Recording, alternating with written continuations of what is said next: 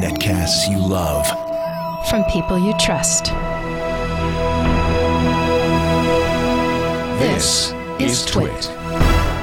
Bandwidth for FourCast is provided by Cachefly at C-A-C-H-E-F-L-Y dot com. This episode of FourCast is brought to you by Squarespace.com, the fast and easy way to create a high quality website or blog. For a free trial and 10% off your new account for six months, go to Squarespace.com and use the offer code FOURCAST7. What sort of future do you think we're heading for? How will we live as we slip into the 21st century?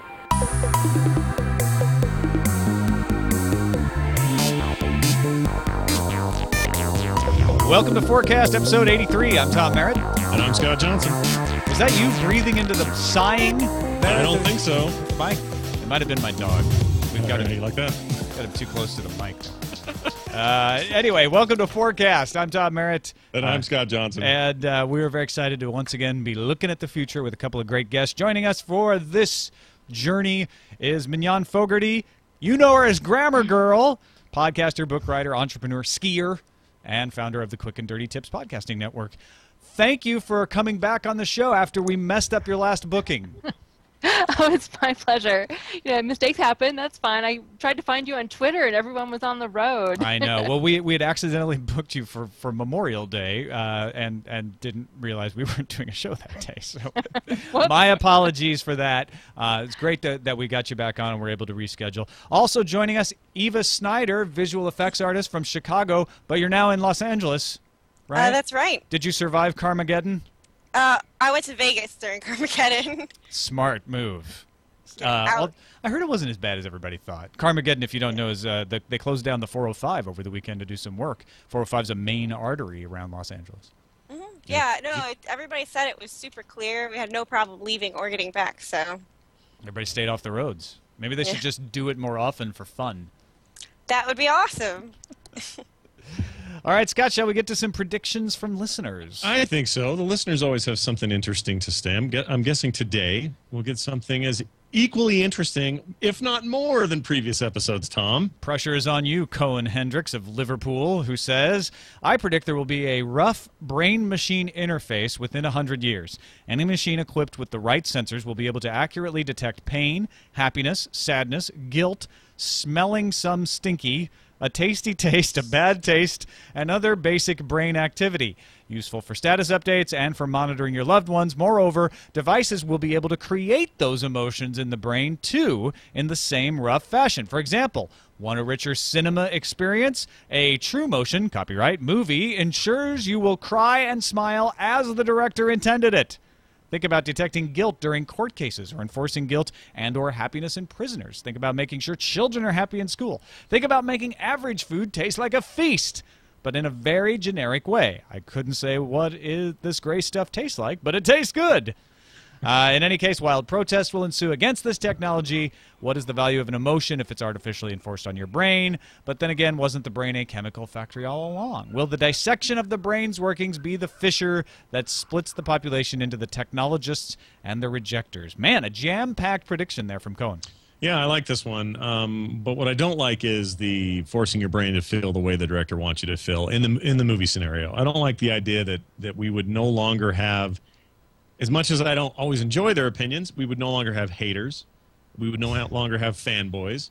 We would be this, you know, middle thing that can't think for itself, and I don't I don't like that. I like the diversity of opinion, opi- opinions. I want to hear what Ebert says, but I also want to hear what you know Joker at the New York Times says, or or whatever. I want to know that that when I go, I'm going to have my own unique experience that that the director's vision is going to wash over me in a slightly different way than the guy next to me, and taking that out takes out a lot. Like it seems like it would, for the director anyway, it would improve the overall reason for making a movie in the first place. But for me as a viewer, I need to have, I need to come with my baggage, see it with my eyes, and walk away with my own conclusions. Mignon, what do you what do you think? Would you want to go to a movie if they were just going to force you to like it? I think there's no way that sane people will have things implanted into their brain for entertainment purposes.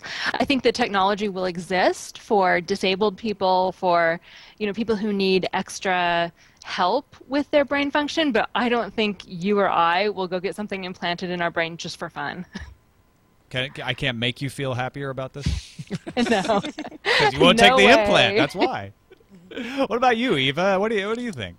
Yeah, I actually have to agree. I mean, how can you have an effective message if you're forcing everyone to agree with your message? Um, you wouldn't have you know, effective art or or be able to criticize or you know disseminate between good and bad or or what people enjoy if everybody's forced to just like it. So But all have be these happy. It's the whole- manufactured sense of styles. It, it's the whole you need to fail a few times before success can taste, taste as sweet as success is capable of tasting. And it's the same kind of idea. As technology gets closer and closer to a place where we could do these sorts of things, I think people will get less and less inclined to embrace these kinds of technologies and will probably start to reject them. He, he says, well, we divided into a, you know, a, a, nation of technologists and rejectors. I think it's not so much that it's technology that will reject, it's when technology goes just a little bit too far and this is an i think it would be an example of that and it would not you know if, if george lucas is going to tell me that i'm happy that han didn't shoot first that's a problem we need the haters because it, it creates discussion and creative differences and that kind of stuff while sometimes super negative and, and angry i think in, in the end ends you know adds to the discussion and creates a, probably a better ecosystem of, of thought and creative ideas and and better execution than it would if we were just all, you know, I believe this is the greatest thing I've ever seen because the director told me so. It'd be just a terrible, terrible idea. But you wouldn't know.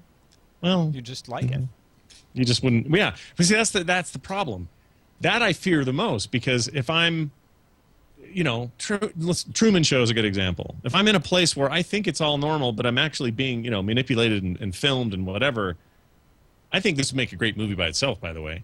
Um, and maybe there, maybe there's a lot of movies like this. I mean, Logan's Run and others sort of, uh, you know, speak to this kind of central idea. But the idea that we were we're being sort of pushed around and told what we like and what we don't like, somebody will rise up, and then there's a mess. There's blood on everyone's hands. There's a war.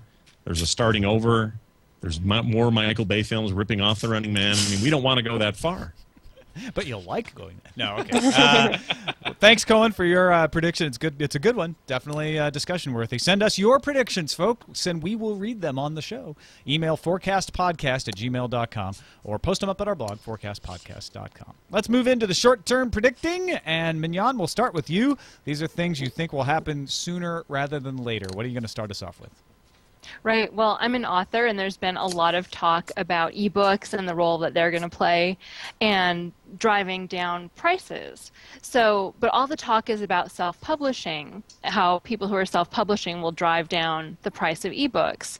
And while I do think prices will go down, I think that it will be driven by older, established authors who have a large backlist of books for which they own the ebook rights. So publishing contracts until I don't know, five or ten years ago, didn't include ebook rights. So a lot of older authors own the rights to books that their publishers have published. So they have those old books, they can put them online as ebooks for whatever price they want. And I think it's those older established authors with a big backlist that are going to drive the prices down of ebooks. I agree. I, you know what? I think you're right. I think as we've seen over and over again, it's it's the brick and mortar institutions that end up kind of setting the standard in digital activities. Uh, for lack of a better word, I mean we we've seen that it wasn't all of the dot coms in the dot com era that succeeded, with your exceptions of the eBay and Amazons. But it was you know BarnesandNoble.com doing just fine, or or in or in uh, electronics, Best Buy, uh, you know, setting the standard for for electronics. So it's a combination, and I and I think this is another example of, of how that will work. So, so this is all in the wake of the closure of Borders, or the closure of the of the last bit of Borders, what was Borders. And I can't help but think, and we're talking really about just the the retail arm of things, but it seems like in the case of something like, you know, Barnes and Noble, they made really strong efforts very early on, so a little bit in the shadow of what Amazon was doing, but they said, all right, well, we're going to get into this e-reader market. We're going to make this stuff more accessible. We're going to have a store that's worthy of of people's time and money and they've been able to sort of ride that uh, at least enough to to call it their own piece of the of the larger pie. And it feels like to me, if a company wants to uh, uh, succeed, and if ultimately, uh, speaking of books, and you know, in particular, I think if if, if books want to to continue to succeed into whatever this new era brings, uh, with ebooks and other forms of consuming books. The companies themselves, the publishing part of this, the the the agent part of this, and the author part of this, all kind of have to get on whatever the train is that it that it's on. And so if it's ebooks and you got to get them on, you got to get your books out there, and you've got to get them on Amazon's Kindle. Well, then that's what you got to do. And if you fight that, if you blockbuster Netflix, uh, you're going to die. You're going to go away. And I and sadly, I there I there I have author friends who say that they can't stand this new ecosystem. They hate that they would have to put their book out on ebook to get any recognition. They like the old system. They like waiting and you know getting rejected a hundred times before something got through. but I don't know. I don't know what the value in, in, is in fighting that because it just seems like either you get on that train or you don't. Um, Yeah, I'm well, not sure train's the right metaphor, but you know. Well, you think about music, and it's gone digital, and musicians make less money from an album that they produce now, or even a single, and they make their money touring. And I think authors are going to have to take more ownership of the marketing of their own books. And I was in a comedy club a few nights ago, and I was thinking, this is an awful lot like a book signing Uh-huh. without the books. And so I can see that they're, you know, and authors are not social people. We tend to like to, you know, be at our computers alone writing. But for authors who can be social and can perform, I think some of those authors will start touring in a way that's focused more on entertaining their audience than on just reading straight from their books. And that, you know, I mean, there's this established network. Maybe it'll be comedy clubs, maybe it won't, but there are empty stages in every city every night. So I think we'll see a few authors trying to make that leap from author to entertainer as a way to bolster their book marketing. Well, here's a here's a question. So either you're a visual artist, you you understand mm-hmm. what it means to entertain, but also create and that sort of thing. Mm-hmm. Um, it- this reminds me of webcomic artists. There's an analog for lots of different content creators in this conversation, including podcasters. Mm-hmm. It Really, it applies to everybody on the web. Or this idea that as everything moves to this sort of anybody can make it kind of model, you have to do special things. You can't just sit back and go, "I'm the author. I wrote this. Have a nice mm-hmm. day." The Stephen King days may be well behind us. How do you, as a graphics and visual artist, see the future of your medium and I think uh, as an analog to what authors deal with or musicians or anyone else. Well, with with my medium, it's still a very visual thing. So, you know, you go to the movies and it's an experience. Although, you know, obviously, you have more and more people who are trying to create recreate that experience at home. So you end up with just bigger and bigger, flashier effects and bigger bigger blockbuster movies because everybody is trying to grab hold of this audience. You know, this summer obviously it's very competitive where there's tons of huge movies. But um, in the book realm, books like I read a lot, so for me, books are very personal. Like I come home and at night I sit down with my Kindle and I read, and um, it's like a moment to step into someone else's world or creation that I, as I envision it.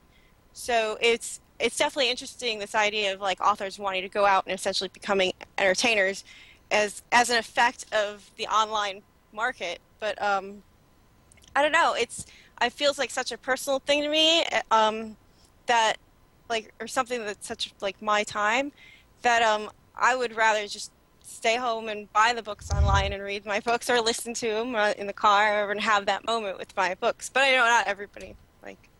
And-. But like, imagine if if if if Stephen King or John Grisham or I don't know a mainstream artist or a mainstream author rather, kind of was forced into a position where he had to ri- run his own con. You know, had to have like King Kong. That's pretty awesome, actually. Yeah, That it is be kind of awesome. Great, But- Yeah, I and he would get up and he would keynote it, and he would have special guests there, and his son would do something, and you know they would they would kind of build community around what was you know what is a, not a dying art form, but a changing art form, and and maybe that's the way we retain loyal leadership or readership rather, or well, leadership something like that. that would be really good for like introducing like if if almost like a mentorship where you have you know bigger well-known authors who you know you've been around a really long time and you want to curate those you know who are talented because the problem with ebooks is there's so many and you you go to the store and you can sit there and flip through the books and read the covers and or the first chapter even and and in the situation with ebooks there's like a million ebooks and everybody's self-publishing now you don't really know what to buy and you just have to go based on like whatever amazon recommends you kind of so in that sense you could almost have like if they wanted to mentor in new new authors or other young people who are are up and coming and then you make it sort of then you make it an event where it's like come and see what we have to offer, and then you can go home with it right away. And that brings us back to your original point, Mignon, which is established authors are the ones who are going to be able to drive down the ebook prices because not only do they have the rights, but they have the audience. People are already familiar with them. So if I'm going to, you know, take a risk, even if it is only 99 cents for a book, I'm going to take it on an established author. I'm going to see a Stephen King book for cheap. I'm going to go for that because I know, like, oh yeah, a lot of my friends like this book, and that's going to to sell better. I, we've seen that in the music industry already, where having MP3s easily available and easy to publish has not meant the rise of the independent artist nearly as much as maybe some people thought it would when it first came out. Right. I've read that some established artists or authors already are um, charging for their their book readings. Um, I'm not sure if it's the the bookstores or the authors who are doing. It. I think it may be the bookstores have decided they can't give the space away free. But it, at some level, people are already on occasion paying a small ticket price to go see a very established author when they come to their city. And then I remember reading also that Neil Gaiman was doing something with audiobooks. Um, Audible has a new program where they're trying to get more audiobooks out, and I think Neil Gaiman is curating or creating his own imprint within Audible, but somehow he's selecting audiobooks that he thinks his readers will enjoy. So it's already happening in places here and there. Yeah, I'm paying to go see George R. R. Martin next week, uh, and and and you get the book is the thing. So it doesn't. They did it smart. It wasn't like, oh, now we're suddenly just going to pay for something that used to be free. It, they added something in. They're like, when you come, you'll get the book. You'll get be able to get it signed. So you feel like, oh, okay, well, I'm paying for more than just sitting down in the audience. This is, you know, this is a package. Right. Too many people were going to book signings and then going home and buying the book on Amazon. yeah, it's a great way to sell the books, right? And especially yeah. the old Dead Tree versions. All right, let's move over to you, Eva. Your short-term prediction, maybe in the next few years. Uh, what do you see in your short-term crystal ball? All right. Well, um, assuming the economy were to continue to go down, um, this is sort of based on um, how there used to be the old steel towns where a steel company would come in and build up a town and sort of subsidize everything so that people would come and work for them and live in their town. So um, sort of what I was thinking with them. Have you ever heard people getting their weddings sponsored by companies and that kind of thing? Um, the idea that your whole life could essentially be sponsored by a corporate company, like you need the money, so you become a, wa- a walking sponsorship of of like Pepsi. Like you're always gonna have Pepsi products, but then they they subsidize your school for you, or you live in like certain areas, and so sort of this idea of um, you get permanent consumers because you've fed into this pool of people who are always going to be like, your products are great and the service. Yeah. Could you, so could you, here's, I love this idea. I mean, I kind of love it in a science fiction kind of way. I don't it's think a I little, want it.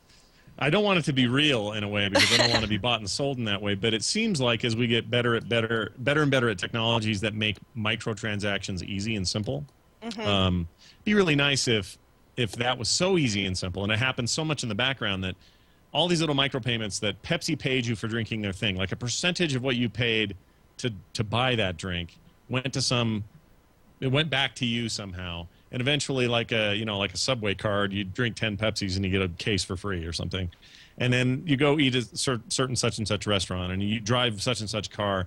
And in a kind of almost game theory way all of these devices items and things are feeding back into your bank. You, they're paying you to, to use these people. It seems like you, you couldn't do that with the entire population, though, right? Like you couldn't just. Yeah, how, no, how no. Do you, how was, do you see that? Would it just be some individuals that have maybe yeah, more it, exposure like, than others? You'd have like a, a pool, or like I, I guess it's it's the way like you know your family goes, or you're there, you know they're about to have you know a kid or something, and like oh we really need some way to like help us fulfill this cost let's have our baby our baby sponsored by you know Pepsi or Coke or whoever, and and that that helps you know give them a better shot in the future. But at the same time, now it's like that whole family is a Pepsi family, and they tell their friends, you know, oh this is this is what we always drink or this is what we do, and and it's thanks to this company you know, will you have will you have competing situations where I can't go over to your house because I'm a Coke family? Maybe that'd be that'd be crazy, but in a in a subsidized world, that could be the case. It's the idea that, that corporations would want, want to find more and more ways into your life so that you always are, you're always coming back. Like, it's to the, the idea that they want to build um, a consumer base that they'll never lose. And that consumer base infects other populations. You know, we already kind of do this. Uh, I don't know if you look at you look around at people's clothing. Uh, you know, d- people often have shirts that say the name of the clothier, and you paid for them. You're not even getting Yeah. anything. It's not it's not free at all. But there's there's lots of free advertising uh, going on, so it's it's not as far fetched as you might think. Uh, Mignon, I don't know if you remember, but uh, there used to be a program to get a free car as long as you were willing to drive it around with it wrapped in advertising. Do you, I back- remember that. When I first started Grammar Girl, I looked into getting my car wrapped with the Grammar Girl logo to see what it would be. I went into a sign company. They had no idea what I was talking about. but but I remember it. People were wrapping their cars in exchange for I don't know, was it five hundred, a thousand dollars a month Yeah, in yeah. They- advertising? It, it was it, it was something that would you know cover a car payment essentially. So it was a, it was a good trade off. But would you do that? Would you would you live your life sponsored that way? I'd do it for my own company. Well, but I yeah, that's a difference though. I mean for somebody else, just to get stuff for free. It'd be funny if you had a wristband that said, "Oh, I'm sorry, you you're not allowed to buy Coke. you're a Pepsi person." trying to That's sneak when it, in. that's when it gets all Orwellian and scary, I guess. But yeah, I the the idea that we all become the living by um, sort of I don't know biological equivalent to a NASCAR car is a little disconcerting to me. I don't want to like that. Loyalty can be thrown around a little bit. There's certain things that I am loyal to, certain products I really like, and and I'm happy to tell people and give lots of good word of mouth. Um, but the minute you have to change an alliance, as long as we always had the freedom to say, well, uh, Dell was okay, but today I feel better about Apple's you know chances in the market. So I'm st- I'm going to change allegiances to whatever I like better right now. If we always had that freedom to do that, then that'd be fine with me. I think it's Let's an do it. interesting prediction. Uh, I don't think I'll, I'll, I'll ever buy, buy into anything like that. Uh, but it is time to uh, take a break and thank our sponsor, Squarespace.com, the fast and easy way to create a high quality website or blog. Scott, we use it for FourCast. We do. Uh, it's awesome. How simple is it? Tom Merritt, even Tom Merritt can go and make a very functional website. Someone as distracted and, and horrible at spelling as me can can put it, put together a website and keep it up to date.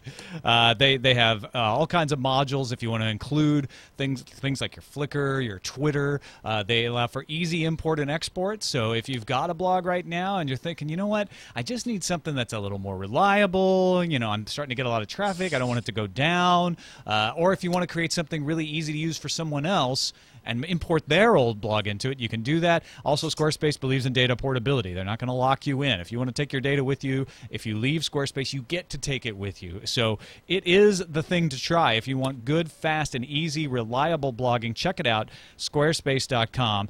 24 hours a day, seven days a week support if you need it.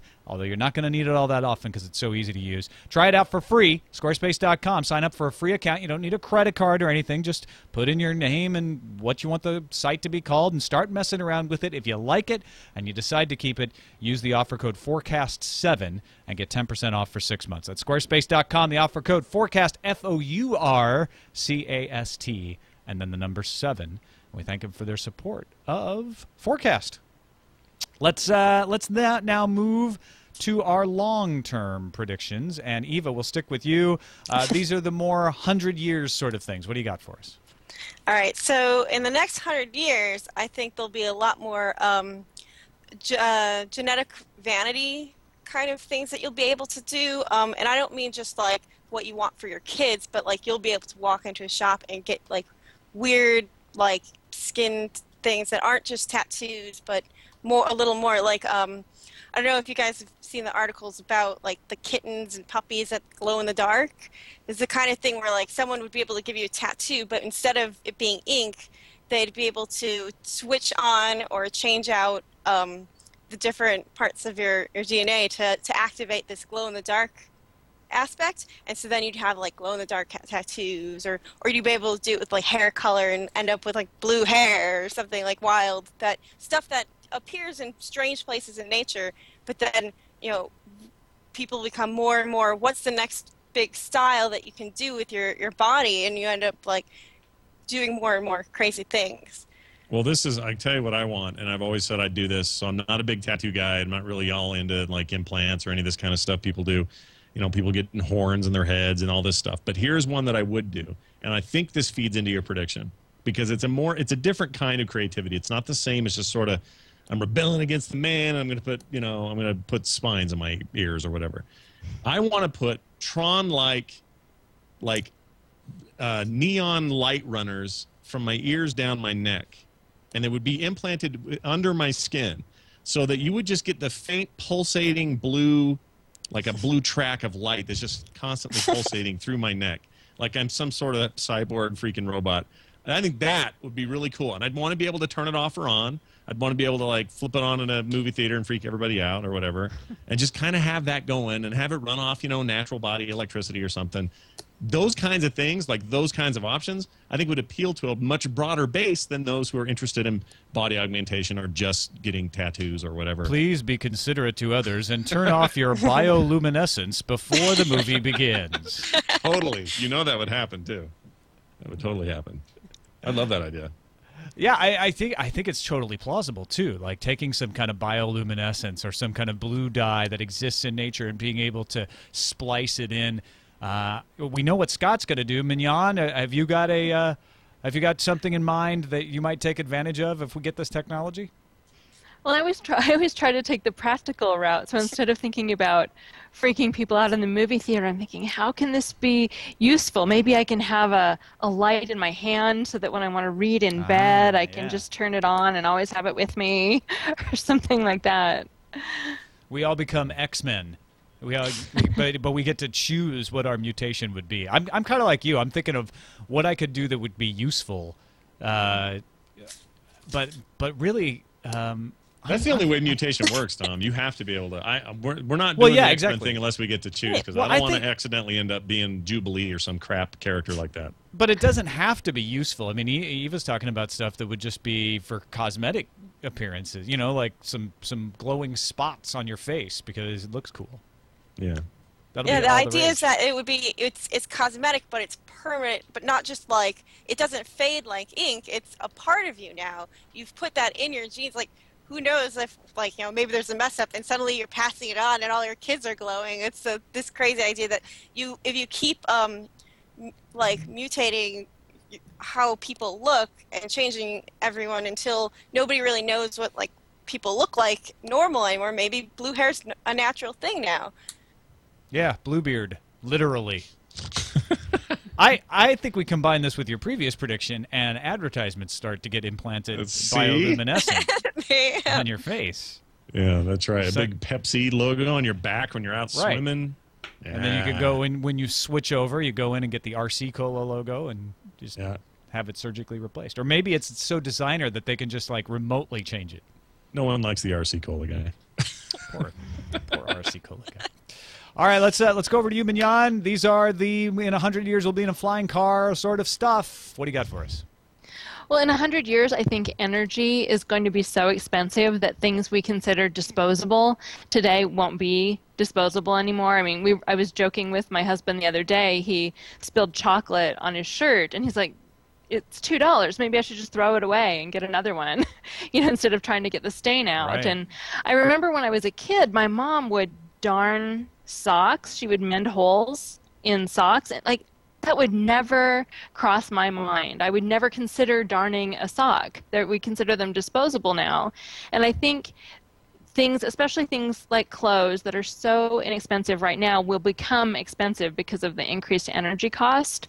So I think that we'll go back to sort of a repairman culture. You know, the TV repairmen were put out of business, the vacuum cleaner repairmen were put out of business because products got so cheap. And I think we're, we'll see a resurgence of people who make their living repairing things, and we'll see uh, a change in attitude so that many things we consider disposable today we won't consider disposable anymore.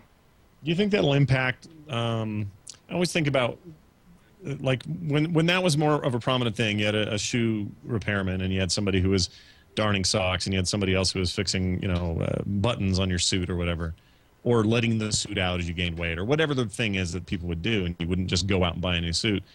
did that did it historically have an impact on trends and would it now so for example if it was real easy for me or, or became uh, economically uh, feasible that i had to get things fixed instead of buying them new would would styles and trends kind of slow and would that therefore be another ding on the economy? I just think about the the impact of you know because if you just keep wearing the same jeans and get them patched until you can't wear them anymore that seems like that would slow down sort of the yearly what's hot you know what what colors are in what pants should i be wearing? And it seems like that in turn would ding the same the self same economy. I agree. I think it would slow down the economy and it would people people would still have a sense of wanting to have their own personal style and change what they're wearing, but I think it would be smaller things like accessories. Maybe you'd get a new collar on your shirt, but you'd keep the same shirt. You would maybe take it in at the waist, but to change the, you know, the the shape of it, but you'd be altering the same items instead of just giving them away or throwing them away and buying new items. And just kind of how now people buy skins for their phones and things like that to personalize them. I mean, there there will be a desire for new technology. I don't think we're going to shed our desire for the latest new gadget, but things that can be easily updated or saved or altered, I think that there'll be much more of a drive to do that. I, I, you know, I think you're onto something for sure, and I think it might run along class lines to begin with. Uh, and I'm, t- I'm thinking specifically of food. Uh, so, so what you're saying is we've had all these cheap things that were uh, more expensive to repair than replace, so we just replace them and we get rid of them, and that starts to change. And we're actually seeing that with food. I think we've talked about this before, uh, where the ingredients for food are very cheap, but we started to realize that they're actually not good. They don't taste good. They're not good for us. Uh, and so, if you can afford it, you start to shop at Whole Foods. You start to shop at the organic store. You try to buy locally, and you start you start to put together something that is better for you but costs more. Uh, and I see an analog here where people start to say, well, wait a minute, you know, now that I can afford it, I'm not going to buy that, that cheap ni- you know, uh, artificial, uh, sh- uh, artificial thread shirt. What I want to say nylon, but it's not nylon. Polyester. I was, uh, that cheap polyester shirt. I'm going to buy a really good shirt. I'm going to buy it made by a tailor, and when, and when it rips, I've paid enough for the shirt that I'm going to go sew it up or get somebody to sew it up for me, and it starts to become a status symbol. The way organics have become sort of a status symbol of like, oh no, I I fix my things. I, I and and I think you know, the broadly, uh, you know, people who don't make as much money will continue to have to buy those consumer goods that are replaceable. Uh, but I, I, I see that not lasting forever, but that trend kind of moving that way. So maybe nanotech is the answer. We always bring up nanotechnology on the show. And since this is a little far flung in the future, you know, the idea that, that our things would last longer because we come up with nanotechnology that could easily repair um, stuff, whether it be clothes or other synthetics or computers or devices or whatever, um, that seems to me like a, a, a great way to apply that technology is to make things last longer. And if they're if they're broken a, a, quicker easier less expensive fix so that we don't have to rush right out and buy the next one or buy another one or or whatever. yeah, but wouldn't that make them oh sorry, wouldn't that make it more expensive though to if you're because if energy is the expensive part then having the thing or replacing it by hand like having you know, a mechanic or like the VCR repair shop, um, then that's that turns into you know human labor that's not so expensive. If energy is the expensive component, then nanotechnology it seems almost prohibitively prohibitively expensive, and so you know you're like what are you gonna like every time you have to shock them to make them fix their thing or do whatever you know like send the pulses you're you're spending hundreds of dollars at this point like to constantly repair things. I mean, that would almost be where you end up with your, your class line of what's the expensive thing that can fix itself versus what's the thing I have to take down to Joe at the shop. But then you end up with this this uh, local economy that is actually going to end up doing better because you're relying more on each other. You have a stronger community, um, and I think that in the end that could actually turn things the other way. And that author who doesn't make as much money on his ebooks anymore can supplement his income by being repairing vacuum cleaners. Yeah, an artisan vacuum cleaner repairman. Yep. Brilliant. I think I, you know, I, I joke, but I, I do think uh, I think I do think there's something to that for sure. All right, let's move on to the crazy ass predictions. And Mignon, we'll stay with you. One really far out there forecast. What do you got for us? So I'm a terrible pessimist. So I think that in 10,000 years, 90% of humanity will be dead. I think we'll find some way to become nearly extinct, whether it's nuclear bombs or an asteroid hitting the Earth or global warming. I mean, they're, we're actually quite fragile, and there are many ways we could wipe ourselves out. So I think history will repeat itself. Um, my brother spent the summer at a survival camp, and he came back and told me only 2% of people know how to start fire without oh, matches. wow. So, you know, once the matches run out, we're all gonna we're all gonna die. We're gonna freeze to death. But so there will be a short period of time where people who know how to survive, how to hunt and build fire will be the the status members of society. But because people will remember technology, I think that phase will go by very quickly and then people who can remember technology, people who can decipher the remaining information about how to rebuild a modern civilization, I think those people will become the most esteemed people in the society. So I think it'll go through the same, you know, historical pattern, agrarian, hunter-gatherer, you know, but I think that that will be very short. And then technology will quickly rise again, and the people who can understand technology and teach technology and build it will be the most um, prominent members of society. Sounds like you'll have uh, you'll have an society will have will have this huge sort of influx of Eagle Scouts because they really are the last bastion of how do you make a fire, tie a knot, and kill a thing. Like there really isn't any other sort of childhood based training for these kinds of basic human skills. And they're doing it you know every weekend. They're going out there and they're learning how to camp and make their own fires and keep warm and they're doing you know survival camps in the winter. And seems like they'll be this elite you're talking about for a little while. Hopefully that means they'll be a very you know benevolent elite. They'll help old ladies across the street and be very kind and and then they'll still obey the scout law and the oath and all that. But eventually the uh, I, I agree with you. The tech comes back. And ends up being the thing that happens. And this is true of all societies throughout the ages. The technology maybe only got so far in those in those societies before things fell apart. But ultimately everybody reaches further and further down that road and I, I don't think there's any way of getting around it but for the meantime in the meantime we got scouts to take care of so we'll be fine they'll start all the fires we need You know, people hope. people actually know more in aggregate than we give humanity credit for. There's so many people who are just interested in things or or decide to, you know, be more self-reliant and learn things. And I think that's okay. I think if all of us had to know everything to survive in the wild, we wouldn't be able to advance humanity as far as it has gotten. Specialization allows us to spend the time to learn about things like electricity and electronics and space flight. You know, if, the, if those guys from, from NASA all had to, you know, build uh, their own fires every night, they wouldn't have a lot of time to actually send the space shuttle up. So I'm glad that we can specialize, uh, but at the same time, there absolutely is an importance to making sure we have enough of that knowledge preserved, right? And it, and I, th- I think that's an important part of this prediction. Eva, do you know how to build your own fire from scratch? I do actually, See? because I uh, I was a Girl Scout and I went to um, a nature like camp out kind of camp, so I would learn all that kind of stuff of how to build a fire and like how to garden and that kind of thing. So um, yeah, definitely uh, those would be the people who would do the better. But even then, we're all so pampered that you know if some sort of devastation were to happen, yeah, I, most of us wouldn't make it anyways. I mean, find even if you know how, finding water is really difficult. so. So do you, Mignon? Do you worry in like the world of authorship that we get so reliant on technology that eventually we forget how to write, and like, we're not writing on paper? We don't know what that is anymore. There, we we lose the ability to share the stories because things are getting so automated and so so digital that when that all comes crashing down, that's all just vapor. And what are we left with? And those skills are have, have waned, or is that not really a fear you have?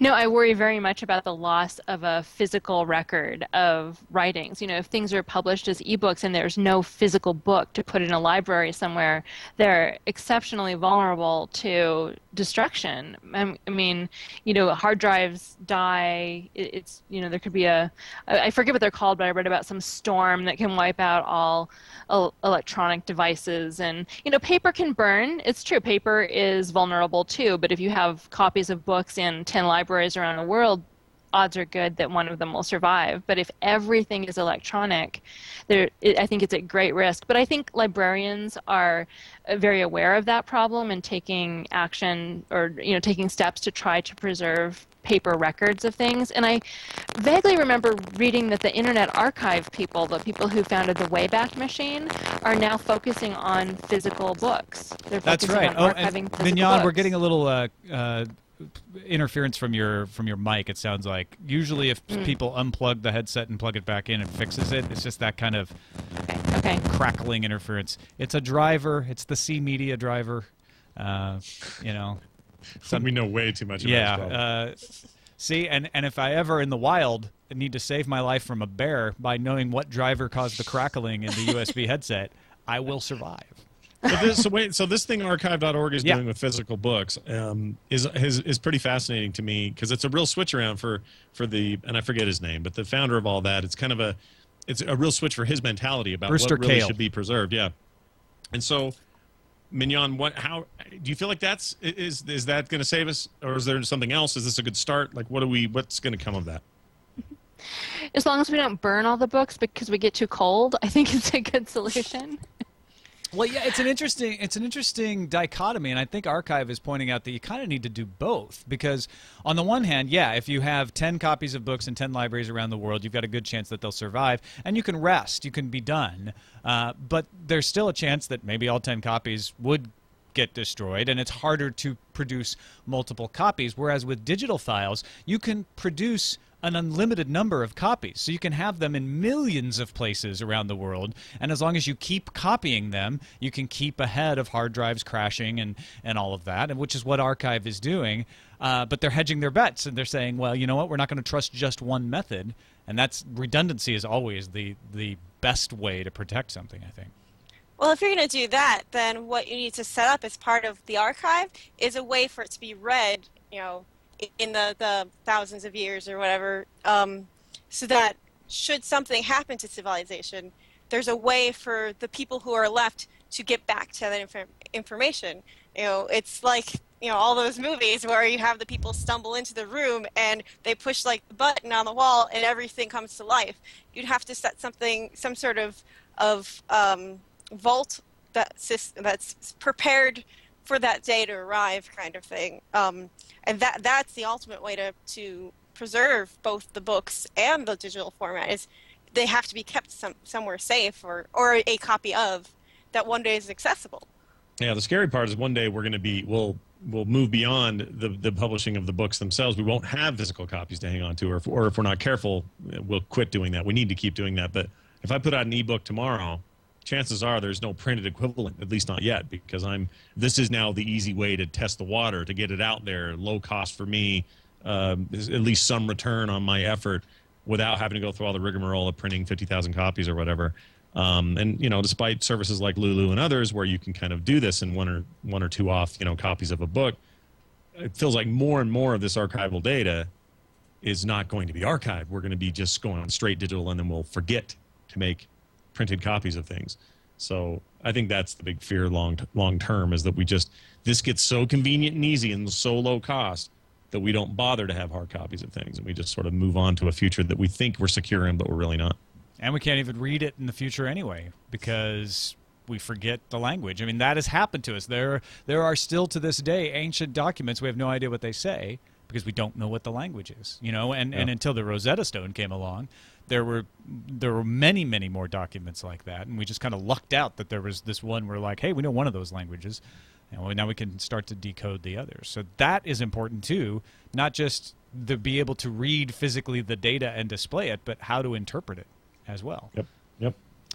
All right, Eva, we're going to go over to you. Uh, your in 2,000 years will all be made of goat's milk or something like that. What do you got for us? Oh, I hope not. Um, all right. So actually, mine plays very well into uh, uh, Mignon's uh, uh, prediction in that um, I was going a little more on the positive end, where I think we'll evolve um, technologically. Te- technologically as we go so much that um, people will forget how things are done like we'll have robots making everything for us that so few people will actually know how stuff works i mean you find it today a lot of people don't know how how most of the things in their house work.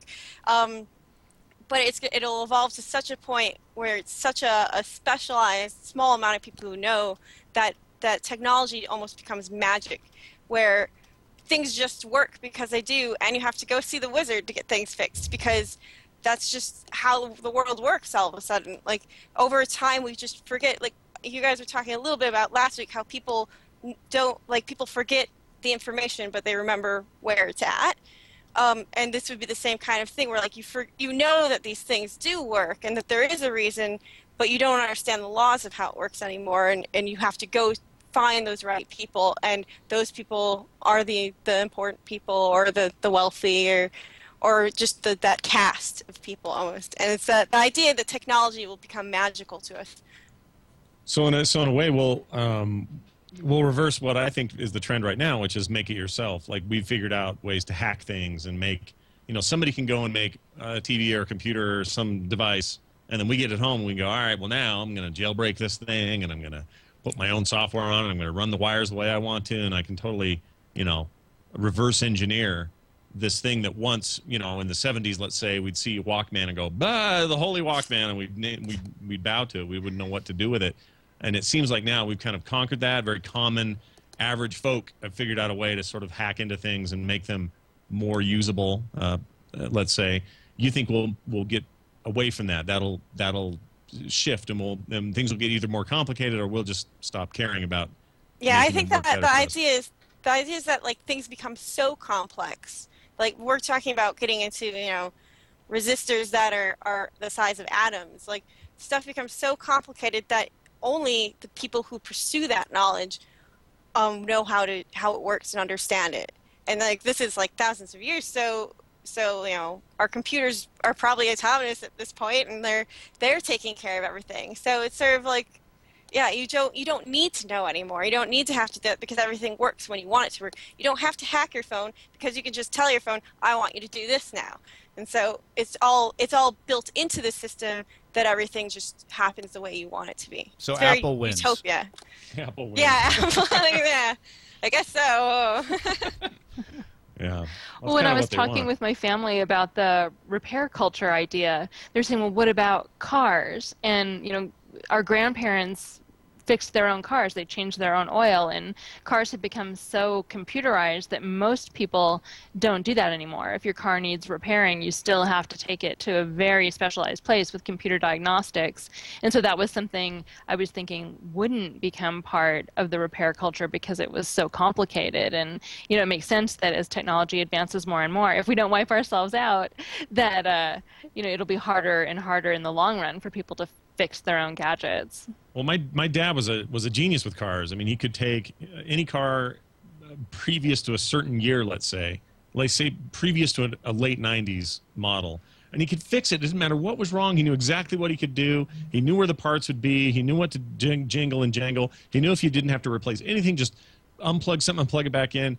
And then something happened late '90s or so, where cars quit being like that, and they started to be totally integrated and totally chip dependent and all this sort of thing. And it felt and it felt it was a very tangible thing for me to watch my dad kind of look at a car and go, "Oh my gosh, all this stuff that I've known, I don't know it anymore because it's no longer really in the car. It's not a car tech. It's a it's another tech applied to cars that I'm not trained in that I don't understand." And he I, th- I think we even had conversations about it. It's like the two would have a hard time figuring each other out. Like really good car people would never quite get along with really smart computer technicians who made the car better because of all this integration. And so I completely agree. That's a great example, actually, maybe the best example of where we lose a little bit of um, you know our, our, our ability to to work on stuff like that because now a car is completely out of my reach. It's not even close to something I'd work on. I have to have a dealership or a or a you know a smart mechanic who can do it. And even in those cases, it's so hard to find good ones. And probably part of that is that it's really complicated. And there's lots of models, and there's new hybrids, and there's battery only cars now, and who knows what the crap's under those hoods. So yeah, I don't, I I fear for our children. well, it's a it's a cycle, right? Any any sufficient technology is developed to make your life easier, to make something simpler, to make it easier to work. And yet, once you do that, it makes it more complex to maintain or repair uh, you know, wheels made it much easier to get stuff around, right? But you had to know how to make a wheel and how to maintain the wheel and how it worked with an axle, and you had to learn that. And and it seems simple to us now because they're so pervasive. But how many of us uh, going back to fire, for instance, can make a fire out of nothing. We've we've moved beyond that. We we assume these things, and they're easy to get. They're easy to find. So we're like, well, yeah, if I want a wheel, I go down to the Home Depot and I buy one. You know, I don't I don't have to make one that's perfectly round. But could you? Uh, and and I think that just continues on and on. Now cars are a great example. We have self parking and collision avoidance and lane change, and eventually that's going to grow and grow and grow until the idea of repairing a car is going to sound as silly as repairing a microchip. Uh, it's like, well, no, that's not what a car is. A car is this thing that knows how to drive itself around eventually, and you know, in our crazy ass predictions. And you, of course, you take it to a technician uh, to to repair it. That's that's you know, you need somebody with the expertise because it's a very important thing. It's just we'll slowly change how we think about all of this technology as it goes. But anytime there's a transition, the te- the the temptation is to resist it because you understood the old way and you don't want to change, and that that's why Scott fears for his children. Yes. You have you've, you've nailed it. Actually, I think I have a I have a larger problem that this show can't quite contain today. Well, then I guess all we're left with is four questions. Well, four questions, Tom. I know the sound of that. That means we're going to ask our guests four questions, rapid fire style. That means they can't think too much about their answers. They must answer from the gut. Ladies, are you ready for your four questions? Okay. Mignon, I'm asking you first. Here are your questions. Tom will ask Eva. Here we go. Okay. If a single animal could suddenly begin speaking and became the ultimate human companion, which animal do you hope it is? Oh, dogs. Oh, all right. Perfect. I wonder what they'd say. Uh, what do you pay? what do you pay, or what would you pay for a trip to Mars and back? Not What's it worth? much. It sounds dangerous. Back in my day, I don't think you we could pay rode me to cars. yeah. Uh, finally, when it, uh, or not finally, third question: When it comes to smartphones, how smart is too smart? I want them as smart as possible. I want that phone to do everything for me. All right, and no one will be able to repair it. uh, It'll repair itself. La- last question. Which sci fi trick would you rather have? The ability to perform a successful Vulcan neck pinch or a small wand that would make others forget everything they experienced for the last four hours? Ooh. Uh, the Vulcan neck pinch. Mm, 'Cause, yeah, it would keep me safer. okay. Fair enough. Very Um, practical. Just a, re- a reminder to our listeners if you watch Star Trek V, the bad one, uh, the one that Kirk directed, there is a scene where Spock gives the Vulcan neck pinch to a horse. It is absolutely the most wonderful thing you'll ever see in film history. So go watch that movie. Tom, over to you. All right.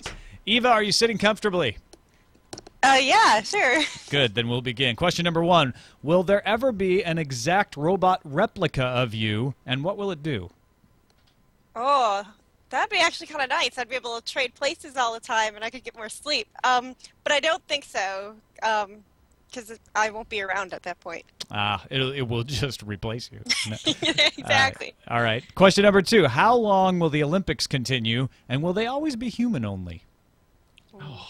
I think they'll stay human, but we'll probably in the you know another hundred years or so start augmenting ourselves when we do it, um, whether it's drugs or you know cyber, cybertronically. Or, Yeah, some kind of some kind of uh, extra leg. yeah, or like just yeah, like sprinters start having like the muscles and the pistons in them. and- Yeah, yeah. Cyborg Olympics. the, Uh, robot, the robot Olympics and Futurama are really good. They the are. They're pretty fantastic. Question number three When will visual effects finally replace reality? Uh, I think it's coming sooner than we think. Um, we're working on, you know, like the hologram rooms and everything, 3D projection. Are you working on the holodeck? Uh, I'm not, but Oh. somebody is, and it uh, it'll happen. Maybe I would say even in the next 20 years, we'll start Wow. seeing prototypes of stuff. Excellent. Then you will become extra rich because you'll be so in demand to create realities. I I hope. I can only only hope. and question number four When will Firefly come back? Uh, when You're we in evolve LA. to the point where we, uh, well, we're actually in Firefly and we're flying to space. So we have to wait for the holodeck, and then you can just make your own Firefly. sure, there you go. Yes. All right. Excellent. Uh, well answered. And sadly, that brings us to the end of our show. Thank you both uh, for sharing your visions of the future with us. This has been great. Thank you. It's been fun. Uh, Mignon Fogarty, grammar girl, and uh, founder of the Quick and Dirty Tips Podcasting Network. Let us know where we can find your stuff online and what you're up to these days. You can find me at quickanddirtytips.com. That's my network, and I'm Grammar Girl at Twitter. I spend a lot of time there, and I'm I just had three new books launched last week. Uh, two of them are 101 words books, and I have another one coming out in November. So I've been writing lots of books. Excellent. Check them out, folks. Uh, she does great work if you're interested in language, especially, uh, and quick and dirty tips. Also, Eva Snyder, thank you for joining us. Uh, let us know what you're up to and where folks can find your stuff online. Uh, well, I like conversation on Twitter, so I'm always up for talking about movies or anything. Um, so at Angel Mercury. Um, otherwise, go see movies in the cinema because you might see something that I worked on. Um, and then actually, I worked on a short that's going to be at Comic Con, um, room 7AB, uh, Friday night. If you come by the TRS panel, you might get to see something special. Oh, so um, you should check it out. Excellent. Oh, I heard something about this. Very cool. Nice. People should check that out. All right, Scott, uh, what else should people check out? People should check out. Oh my gosh, Tom, so many things. They should check out Sword and Laser on the Frog Pants Network. Never it's heard a of show it. that Tom Merritt and Veronica Belmont Oh, host right. about swords and lasers, and I recommend it highly. It's uh, you can learn more at frogpants.com or at swordandlaser.com. How about that? How about that? How about Uh-huh. that short and later? All right, thank you, folks, uh, for watching. Don't forget, you can email the show. Send us your predictions. Come on, fourcastpodcast at gmail.com. We'll see you next time. Bye. But it's only 32 years away. Well, thank you, guys. That was awesome. Thank you. That was great. Yeah, yeah, got- this is fun. good conversation. Yeah, those guys were awesome. Thank you so so much. Thanks for putting up with our troubleshooting at the beginning. No No problem. We'll catch you online. All right. Yeah. We'll let you All right. uh, go now. We got to clear out for all about Android coming up next. What do you think they'll talk about? I think Tom, I'm going to go out on a limb here. This Yeah. is totally. Um, trust me, I don't want any emails All or right, letters. all right. I think they're going to talk about Android. I don't know. Seems like a stretch. Yeah, I agree. Uh, I don't know. I think it's one of those deceptive names. Oh, You know, it's they just picked it because it sounded cool, I see. and then they're they're going to talk about like horse breeding. Oh, gosh, I was just about to say chicken breeding, and I'm not kidding. No You're- kidding. You're weirding me out. Yeah, that was weird.